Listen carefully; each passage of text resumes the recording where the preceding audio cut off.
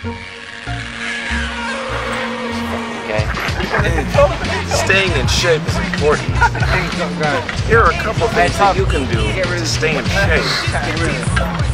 Now this part's going to work your uh, your gluteus and vertebrae muscles.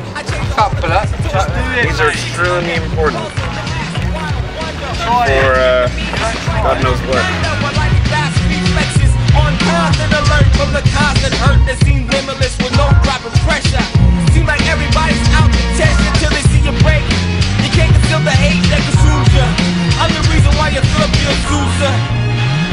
your old lady at the tilt.